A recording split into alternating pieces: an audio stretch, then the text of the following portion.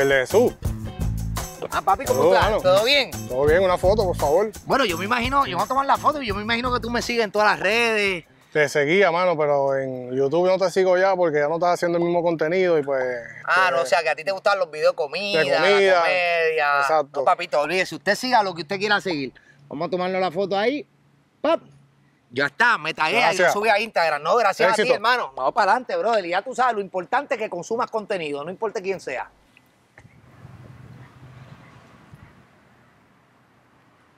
Yo no sé tú, pero yo, yo me encojono.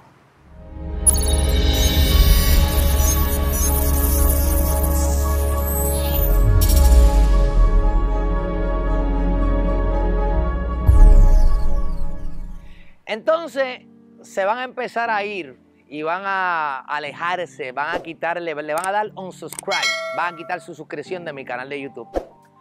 Pues sí, puede pasar. ¿Tú te crees que es fácil?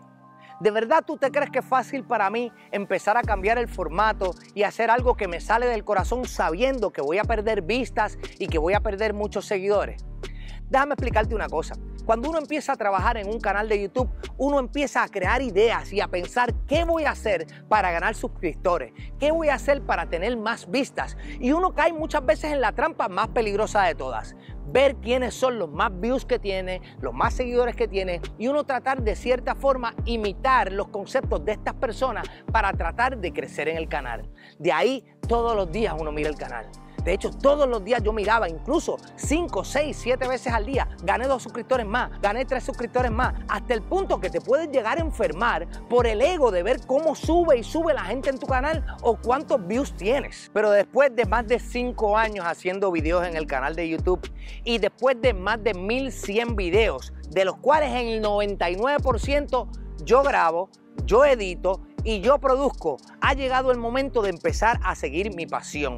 Y ha llegado el momento, como le pasa a todos los youtubers, que empiezan a cambiar su formato y quizá a costa de que muchas personas se vayan del canal. Y quiero decirte algo, al tener menos vistas y menos suscriptores, el canal va a bajar tanto que mi ingreso probablemente sea una octava parte de lo que yo cobraba antes. Entonces te preguntarás, ven acá, entonces ¿por qué lo quiere hacer? ¿Por qué él quiere hacer algo para ganar menos dinero? Bueno, quizás al principio gane menos dinero, pero lo primero que viene a mi mente es lo siguiente. El mundo está lleno de gente rota. El mundo está lleno de gente lastimada.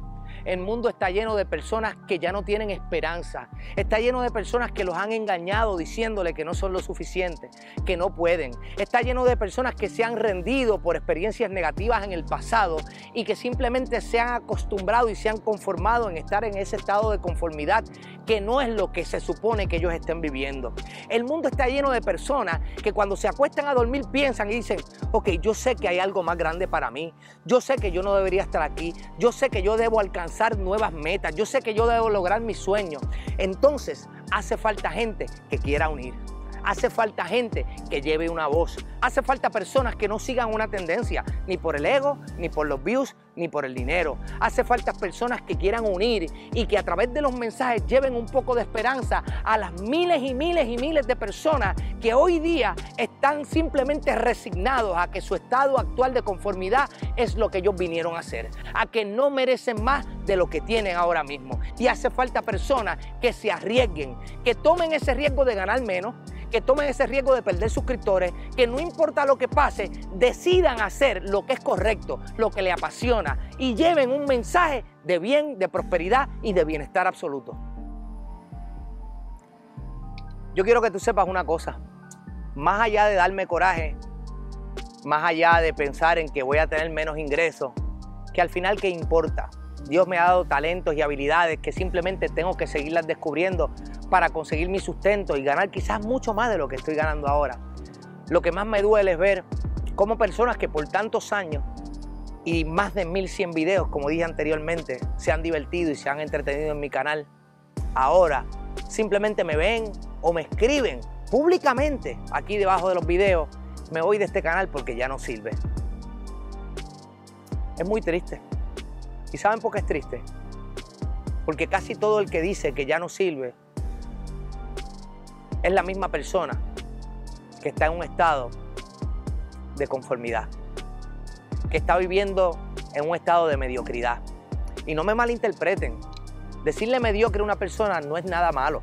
Simplemente decirle que está en el promedio, en las masas, en la estampida de personas que llevan el mismo mensaje y que mueren año tras año cada vez más por ataques al corazón, porque son inconformes con su vida, porque tienen estrés en el trabajo, porque se levantan cada día aborrecidos y dicen, ay, llegó el momento de trabajar porque no viven su pasión, porque viven en una relación tóxica, porque no tienen a su pareja ideal, por tantas cosas negativas y precisamente son los mismos que escriben y dicen, ya me voy porque el canal no sirve.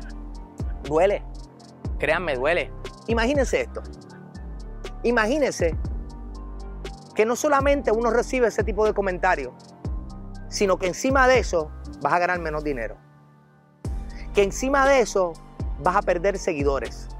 Que al final quizás no sean seguidores, quizás sean personas que simplemente se entretenían, pero que no están aquí para apoyarme en el canal. Que están aquí por quizás un momento que se reían, pero que a la hora de la verdad, como me pasó una vez, que estuve en una cama deprimido, a punto de, vamos, tengo que decirlo, a punto de suicidarme, porque yo no me bebí pastillas, yo no me iba a tirar de un edificio, pero bebía hasta dormirme y cuando me despertaba seguía bebiendo alcohol de nuevo porque ni siquiera quería estar despierto. Esas personas que se van del canal porque cambio el formato, esas personas no son las que en mi momento difícil estuvieron para mí diciendo, Javier, tú puedes, confío en ti y creo en tu trabajo. Déjame decirte algo a ti que a lo mejor te vas a ir del canal. A mí tú no me haces falta. Yo no te necesito. Yo necesito a los pocos que quieran cambiar. Yo necesito a los pocos que quieran soñar. Yo necesito a los pocos que sepan que con disciplina y perseverancia uno puede lograr grandes cosas. Y a ti, que te piensas ir del canal y vas a eliminar tu suscripción, yo quiero que sepas una cosa. Probablemente en unos años estarás viendo al motivador más grande de toda Latinoamérica y nacido en Puerto Rico. Anote el dato terrícola.